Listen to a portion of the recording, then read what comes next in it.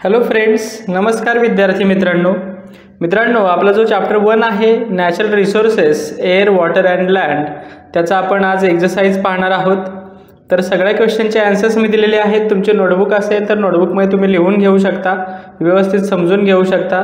The question number one is fill in the blanks पहिला प्रश्न आहे fill in the blanks and the question is the layer of ozone gas absorb dash rays that come from the sun to the earth तर मित्रांनो त्याचा answer आहे ultraviolet म्हणजे ozone layer काय करते? सूर्यापासून येणारे अल्ट्राव्हायलेट रेज ॲब्झॉर्ब करते शोषून घेते. चला आता पुढे पाहूया. Of the total water available on the earth fresh water forms zero point three percent म्हणजे पृथ्वीवर जेवढं पाणी आहे त्यापैकी जे गोडं पाणी आहे किंवा जे फ्रेश वॉटर आहे ते किती आहे? फक्त झिरो पॉईंट थ्री पर्सेंट आहे.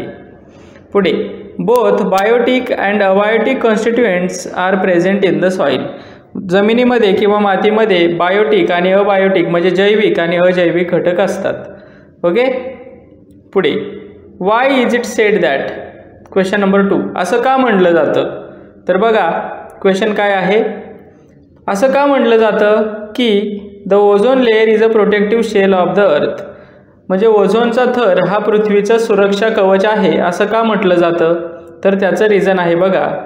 The ultraviolet rays coming from the sun are very harmful for living things म्हणजे सूर्यापासून येणारे जे अल्ट्राव्हायलेट रेज आहेत अतिनील किरणं आहेत ते पृथ्वीवरील ज्या लिव्हिंग थिंग्ज आहेत जे सजीव आहेत त्याच्यासाठी खूप धोकादायक असतात. The ozone gas absorb this rays आणि हा जो ओझोनचा गॅस असतो तो काय करतो? ही किरणं शोषून घेत असतो. ॲज अ रिझल्ट त्यामुळे काय होतं? Life on the earth is protected म्हणजे ओझोनचा थर ही किरणं शोषून घेतो म्हणून पृथ्वीवरचे जे सजीव आहेत ते सुरक्षित राहतात. And therefore the ozone layer is a protective shell of the earth आणि यामुळेच ओझोनचा थर हा पृथ्वीचं सुरक्षा कवच आहे असं म्हटलं जातं. आता पुढे बघा. Why is it said that that water is life पाण्याला जीवन असं का म्हटलं जातं? तर त्याचं कारण काय आहे बघा no living thing can survive without water पाण्याशिवाय कोणताही सजीव जिवंत राहू शकत नाही. Therefore it is said that water is life म्हणून पाणी हे जीवन आहे असं म्हटलं जातं. पुढे. Question number three sea water is useful even though it is not potable sea water म्हणजे समुद्राचं पाणी उपयोगी आहे का असं का म्हटलं जातं? जरी ते पोर्टेबल म्हणजे पिण्यायोग्य नसलं समुद्राचं पाणी आपण प पिण्यासाठी वापरू शकत नाही. कारण की ते सलाईन असतं खॅरे खारट असतं सॉ सॉल्टी असतं.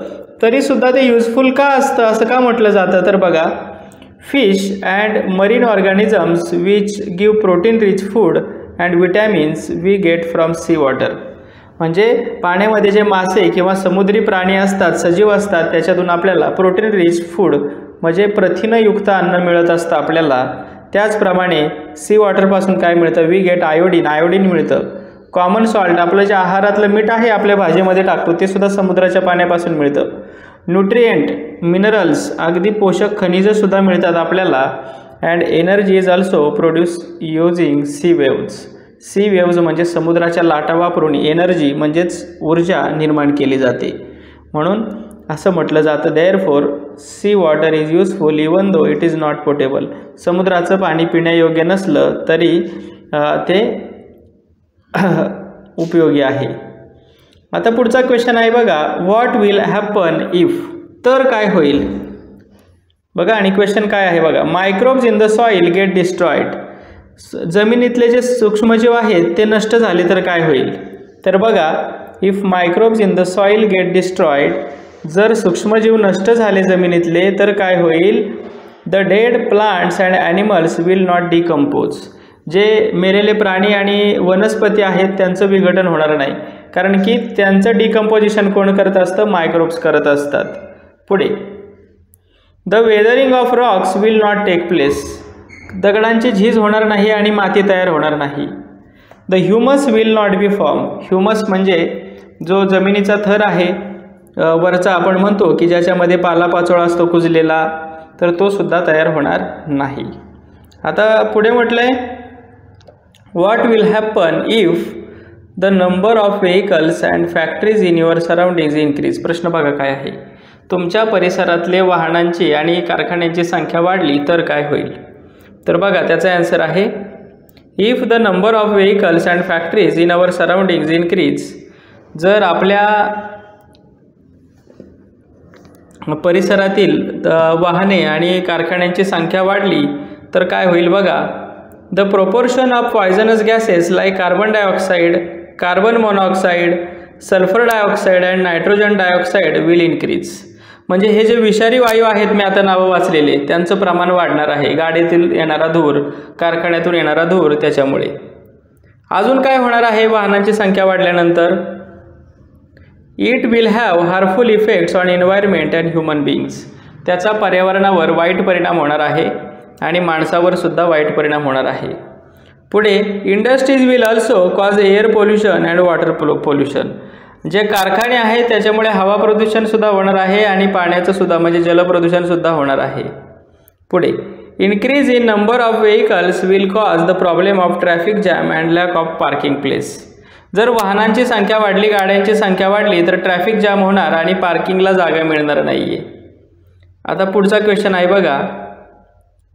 The total supply of pot potable water is finished पिण्याच्या पाण्याचा साठा संपला तर काय होईल?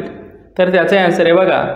If the supply of potable water is finished all the living world on the earth will come to be an end जर पिण्याच्या पाण्याचा साठा संपला तर सगळे सजीव मृत्यूमुखी पडतील.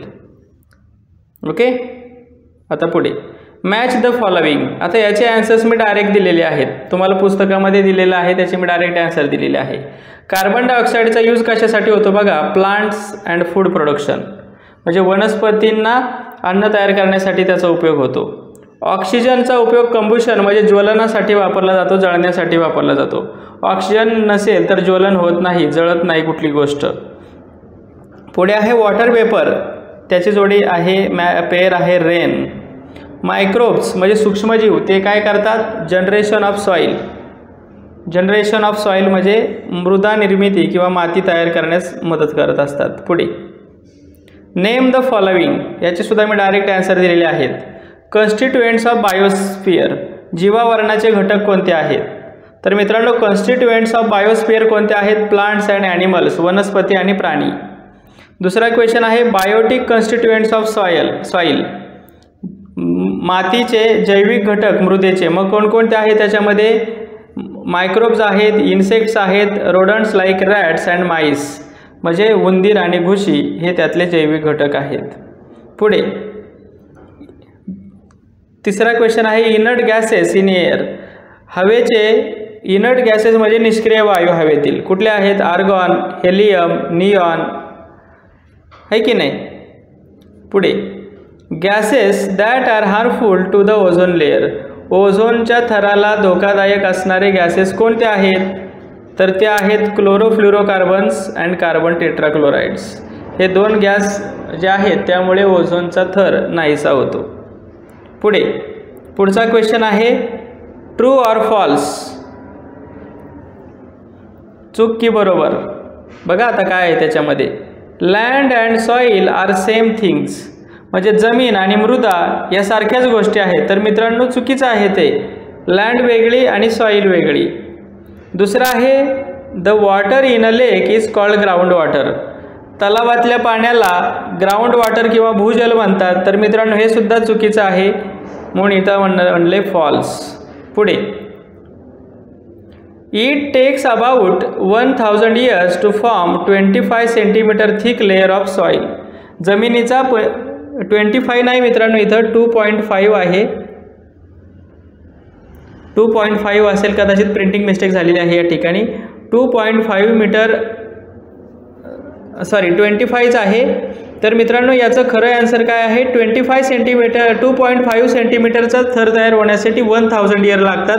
इथं म्हणले ट्वेंटी फाय इयर्स म्हणजे फॉल्स आहे. पुढं. Radon is used in decorative lights decorative लाईट्समध्ये radon हा गॅस वापरला जातो. तर मित्रांनो हे सुद्धा फॉल्स आहे. पुढे. Question number two answer in your own words तुमच्या स्वतःच्या शब्दात उत्तरे लिहा. Explain with the help of a diagram how with soil form डायग्रॅमचा वापर करून मृदा कशी तयार होते ते लिहायचे आपल्याला. तर मित्रांनो ही अशा आकृती काढायची तुम्ही. त्या सगळ्यात शेवटी खाली बेडरॉक आहे त्याच्यावरती पॅरेंट रॉक आहे त्याच्यावरती सब सॉईल दाखवायची त्याच्यावरती टॉप सॉईल दाखवायची. ओके आणि आता त्याचं एक्सप्लेनेशन पाहूया आपण. एक्सप्लेनेशन पाहूया याचं ॲन्सरचं the soil on the land is form by natural process जमिनीवरील जी मृदा आहे ती नैसर्गिक प्रक्रियेने तयार होत असते. The abiotic components of soil are supplied through weathering of the bedrocks जे बेडरॉक आहेत त्याची झीज होत असते खडकांची. कशामुळे होते? कोणते आहेत ते अबायोटिक घटक? हीट म्हणजे उष्णतेमुळे खडकांची झीज होते. कोल्ड अँड थंडीमुळे होत असते झीज. अँड वॉटर पाण्यामुळे होत असते. सन उन्हामुळे होत असते. विंड वाऱ्यामुळे होत असते. अँड रेन म्हणजे पावसामुळे सुद्धा त्याची झीज होत असते. मग काय होते? झीज झाल्यानंतर the bedrock break down into pieces या मोठ्या खडकाचे छोटे छोटे तुकडे होतात. आणि तुकडे झाल्यावर काय होतं? मोठ्या खडकाचे छोटे छोटे तुकडे झाल्यावर स्टोन्स म्हणजे छोटे छोटे खडे तयार होतात. सँड म्हणजे वाळू तयार होते. अँड सॉईल म्हणजे मृदा तयार होत असते. मग काय होतं? Microbes worms and insects are found among them आणि त्याच्यामध्ये मायक्रोब्स आढळतात वर्म्स आढळतात. है की नाही? इन्सेक्ट कीटक आढळतात. त्याचप्रमाणे rodents like mice and rats are also found here आणि त्याच मृदेमध्ये उंदीर आणि घुशीसुद्धा आढळतात. अजून कशामुळे तयार होते soil the roots of trees growing on the land also help weathering of rocks जमिनीमध्ये वाढणारी जी झाडांची मुळं आहेत त्यांच्यामुळे सुद्धा खडक तुटतात. The process of soil formation is slow and continuous आणि ही जी माती तयार होण्याची मृदा तयार होण्याची जी प्रक्रिया आहे ती खूप स्लो असते मित्रांनो. पुढे पाहूया. Why is there a shortage of water even though it occupies seventy one percent of the earth surface पृथ्वीचा एकाहत्तर टक्के भाग पाण्याने व्यापलेला असता पाण्याचा तुटवडा का जाणवतो? तर त्याचे आन्सर आहे बघा. The large part of water on the earth is in seas मोठ्या प्रमाणातलं जे पाणी आहे पृथ्वीवरचं ते समुद्रामध्ये आहे. आणि समुद्राचं पाणी आपण पिऊ शकत नाही. सी वॉटर इज सॉल्टी समुद्राचं पाणी खारट आहे. इट कॅनॉट बी यूज त्याचा वापर आपण करू शकत नाही. And some water is in the frozen state काही जे पाणी आहे ते गोठलेल्या अवस्थेत आहे. त्यामुळे ते सुद्धा आपण वापरू शकत नाही आणि त्यामुळे पाण्याचा तुटवडा जाणतो. There it, it there is a shortage of water though though it occupies seventy one percent of the earth okay आता पुढे बघा. What are the various constituents of air write their uses हवेचे वेगवेगळे घटक कोणते आणि त्यांचे उपयोग लिहा. आता बघा. कॉन्स्टिट्युएंट्स ऑफ एअर हवेचे घटक कोणते आहेत बघा? गॅसेस आहेत. Oxygen nitrogen carbon dioxide sulphur dioxide हे हवेमध्ये असतात. त्याचप्रमाणे काही इनर्ट गॅसेस म्हणजे काय म्हणतात त्याला निष्क्रिय वायू आहेत. नियॉन झेनॉन आर्गॉन हेलियम हे. आणि इतरसुद्धा काही कन्स्टिट्युएंट आहेत की जे हवेमध्ये असतात की ते आहेत वॉटर वेपर म्हणजे पाण्याची वाफ असते स्मोक म्हणजे धूर असतो फॉग असते धूक असतं धुरकं असतं. ओके हे बाकीचे कन्स्टिट्युएंट आहेत हवेमध्ये असणारे. आता आपल्याला याचे uses of the constituents of the air हवेतील घटकांचे उपयोग. तर पहिला पाहूया नायट्रोजनचे युजेस पाहूया. नायट्रोजनचे युजेस काय आहे बघा? It helps give living things to build necessary proteins आवश्यक प्रथिनांची निर्मिती करण्यासाठी नायट्रोजनचे उपयोग होतो सजीवांसाठी. It is useful in the production of ammonia and in airtight packaging of foodstuffs म्हणजे जे एअरटाईट हवाबंद जे पाकिटबंद असतात पदार्थ कुरकुरेसारखे. कुरकुरे कसं पॅकिंग असतं? त्याच्यामध्ये त्याचा वापर होतो किंवा अमोनिया तयार करण्यासाठी त्याचा वापर होतो. आता ऑक्सिजनचा वापर कायसाठी होतो बघा? Necessary for respiration in living things and for combustion श्वसनासाठी श्वास श्वसनासाठी सजीवांना उपयोग होतो आणि कम्ब्युशन म्हणजे ज्वलनासाठी उपयोग होतो. अजून कार्बन डायऑक्साईडचा उपयोग कशासाठी होतो बघा? Plants use it for producing their food म्हणजे वनस्पती अन्न तयार करण्यासाठी कार्बन डायऑक्साईड वापरतात and used in fire extinguishers आणि आग विझवण्याचं जे अग्निशामन यंत्र आहे त्याच्यामध्ये कार्बन डायऑक्साईडचा वापर होत असतो. पुढे आहे आर्गॉन आर्गॉनचा उपयोग कशासाठी होतो? Use in electric bulbs electric बल्बमध्ये वापर केला जातो त्याचा. पुढे आहे हेलियम हेलियमचा वापर कशासाठी होतो? Use for obtaining low temperature and also for generating lift in airships म्हणजे कमी तापमान मिळवण्यासाठी हेलियमचा उपयोग होतो. पुढे पाहूया. नियॉन नियॉनचा उपयोग कायसाठी होतो बघा. It is used in decorative lights and for street lighting decorative light डेकोरेशनच्या light तयार करण्यासाठी आणि पथदिवे तयार करण्यासाठी या नियॉनचा उपयोग होत असतो. आता झेनॉन झेनॉनचा उपयोग यासाठी होतो बघा? Use in flash photography flash फोटोग्राफीमध्ये झेनॉनचा उपयोग होतो. आता पुढे बघा. पुढचा क्वेश्चन आहे. Why are air water and land consider to be valuable natural resources हवा पाणी आणि जमीन हे आपले खूप मौल्यवान नैसर्गिक स्रोत आहेत महत्त्वाचे नैसर्गिक स्रोत आहेत असं का म्हटलं जातं? तर त्याचा ॲन्सर आहे बघा. Air water and land are necessary for the existence of the living world म्हणजे सजीवांच्या अस्तित्वासाठी या तिन्ही गोष्टी गरजेच्या आहेत. No living thing can survive without air water and land हवा पाणी आणि जमीन याशिवाय कुठलाही सजीव जगू शकत नाही. Therefore air water and land consider to be natural valuable natural resources म्हणून त्यांना खूप असे महत्त्वपूर्ण नैसर्गिक स्रोत असं म्हटलं जातं. अशा पद्धतीने मित्रांनो हा याचा एक्झरसाईज होता तो तुम्ही नोटबुकमध्ये लिहून ठेवा. आणि हा लेसन पूर्णपणे समजून घ्यायचा असेल तर त्याची लिंक तुम्हाला डिस्क्रिप्शनमध्ये दिलेली आहे. थँक्यू